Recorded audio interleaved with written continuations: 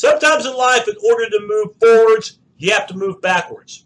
That may not make a lot of sense the way it came out, but trust me, when it comes to Connecticut football, that's exactly what they're doing, and it may pay off for future dividends. We're talking about Randy Edsall, you know, coached the Huskies throughout the 2000s, won a couple of Big East championships, including the most recent back in 2010, back when there was a Big East conference in FBS ball. And in 2010, um, they ended up going to the Fiesta Bowl, a major bowl, when, when they played my Sooners. But yeah, that must have seemed like eons ago for the Huskies because over the last six years, um, it's a program that just hasn't really had success. And as you can tell at the bottom of the screen, yeah, they haven't had a winning season since Edsall uh, left and took that head coaching job at Maryland. But now Edsall's back after the Bob Diaco experiment these last three years just didn't pan out. In fact, last year, Connecticut won three games, lost nine, including losing their last six. So Diaco fired now defensive coordinator at Nebraska. So you bring in Edsall, but you also bring in some other changes as well. And that's what you have to keep in mind with UConn football. It's not just the fact that you're bringing back Edsall, trying to revive this program that has struggled so much this decade, with the exception of 2010, of course. But you're also bringing in new coordinators. Bringing in the offensive coordinator in Rhett Lashlee. Name should sound familiar because he coached under Gus Malzahn at Auburn. And Lashlee, by the way, to tell you how dedicated he is to trying to make UConn football better, he took a pay cut to come to Storrs, Connecticut. That's dedication right there. Or it's something else entirely. But uh, we'll try to revive this Connecticut offense with a faster pace, more up tempo. And I've said this before on other previews. If you're struggling big time, any change you make is positive, and it can only go up from here. We know this because last year Connecticut was flat out awful when it came to offense. In fact, they were the worst team in the country in points scored, not even 15 points per contest, and that included a couple of November games in 2016 in which they were shut out. And for the entire season, this team did not even score a first quarter touchdown. In fact, they only had nine points in the first quarter all season long. So you up to bat starts. Uh, yeah, you can kind of see why three and nine would show up on your uh, record. So any change you make is positive. You'll see a faster tempo offense, and you've got an experienced running back. In fact, he's been the leading rusher the last two years for the Huskies in uh, Arkeel Newsome. In fact, a year ago had over 700 yards receiving, and he's the leading returning receiver in terms of receptions. So Arkeel Newsome, not very big, but definitely fast and plenty of uh, quickness to go with that. Might be an ideal offense for him. Well, compatibility is a big reason why uh, the incumbent quarterback Bryant Shirreffs uh, right now is not number one on the depth chart.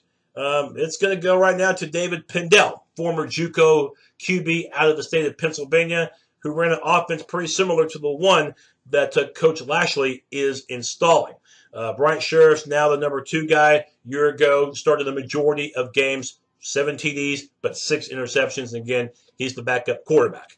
Uh, receivers, and this is a big, big blow when you lose a guy that was not only your best receiver, but he caught 100 passes for over 1,100 yards. We're talking about Noel Thomas. But he didn't have very many touchdowns, though. And again, UConn as a team did not have very many touchdowns. So from the TD touchdown perspective, um, you might actually be okay in this perspective. But every receiver is going to have to step up to make up for the overall production loss of Thomas. We'll begin uh, with Hergy Mayala, the former Canada product out of Quebec.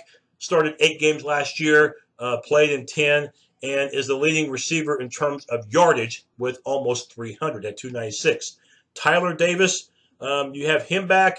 Tyler Davis and uh, Quayvon Skanes. Davis played all 12 games last year. Skanes, a redshirt freshman. And you have Tyreke Beals, who will figure into the mix as well. Started in two games last year, but played in every single one of them. So there's experience there, but again, the loss of Noel Thomas hurts. The tight end, Alec Bloom, returns and he has started a total of uh, 23 games in his career, started every game last year, and had 15 catches, including a touchdown.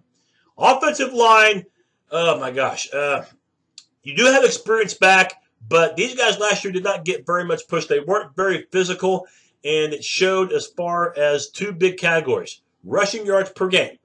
They only averaged 115 yards on the ground per contest and they gave up 37 sacks. So unless these guys have shown progress, unless they can play better together as a unit. I don't know how much the experience returning is going to help, but they do have four of the five guys who've seen some starting time, including the left tackle. That's uh, Matt Peart, um, a junior.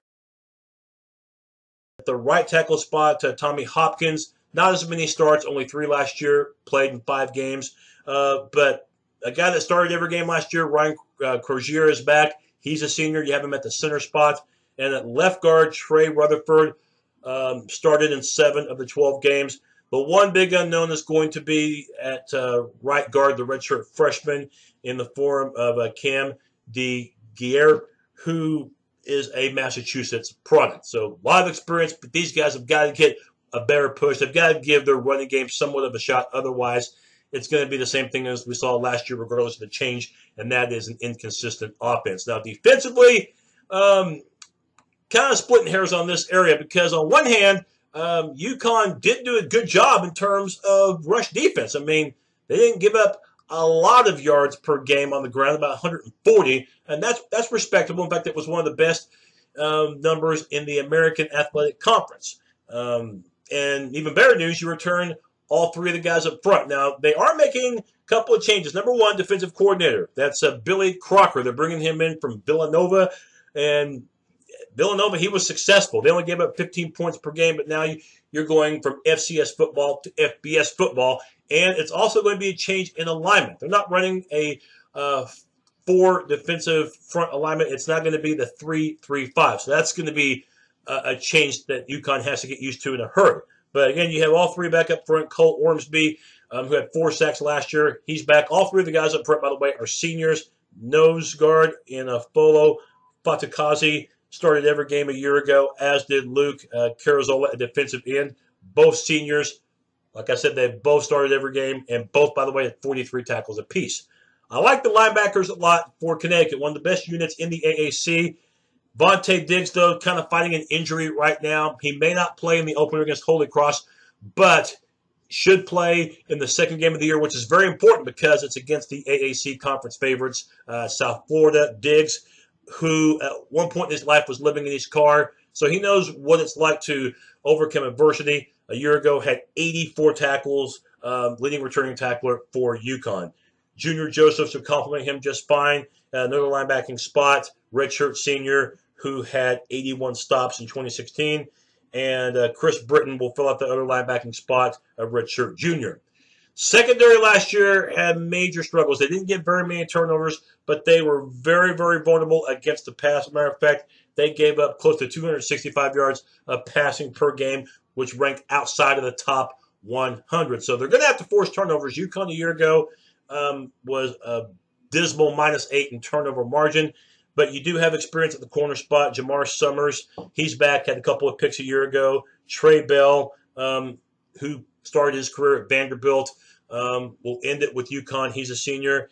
And they're going to break in a freshman in Tyler Coyle as another defensive back. He'll play some corner. And the two safeties, we'll see how they pan out with Marsh Terry, a sophomore, and you got uh, Bryce McAllister uh, fulfilling um, another safety spot. And I also expect, too, to see Anthony Watkins, a junior, uh, play some safety as well. So Connecticut, I do like their run defense, but again, you're going to a 3 3 5 and they've got to get more pressure on the quarterback. They only had 17 sacks a year ago, and you can see at the bottom of the screen um, they're going to be breaking in a new punter as well as a new place kicker. The schedule for UConn, well, they'll begin pretty early, August the 31st. Shouldn't be a problem against Holy Cross and FCS school, but then you go from Holy Cross to Holy Macro because the next week uh, is the conference opener and it's against the AAC favorites, a team that's already got one win under their belt in 2017, and they're ranked in the top 20. The South Florida Bulls, coached by Charlie Strong. I think South Florida, amongst the group of five conference champions, I think they'll be the team that gets a um, New Year's Six bowl invite. I think South Florida's that good. Virginia and SMU are the next two opponents, both away from home. Um, tough matchups for them, but I would not say out of the realm of possibility for a win. They might get a split in that one. But early October, hosting Memphis, who's expected to win the West Division of the AAC, not expecting much there. And then the next week, you play the defending conference champions Temple. You get them on the road. And the second half of the schedule, You got a three game home stretch, a chance to get maybe two wins out of that Tulsa as well as Missouri. And then East Carolina. East Carolina, I think, is going to be their best shot at a win amongst those three games. But then the last three games, you play away from Storrs, Connecticut. And look at that matchup against Boston College. I say it's at Boston, it's at Fenway Park. It's right home of the Red Sox. I've never been a big fan of football games at traditional baseball stadiums. It just looks positively goofy to me. And then you close out the year against Cincy, a team that UConn did beat last season. Vegas says that Connecticut will have 3.5 wins. I'm going to say four wins. I do like the fact that they brought back Randy Edsall and that they have new coordinators, but this is going to take a lot of time. I know UConn fans don't want to hear that, but the AAC is the toughest of the five group of five conferences. So their progression is going to be slow. It's going to be, have to be done in moderation. It's not going to be an instant turnaround. But I do think UConn is taking the right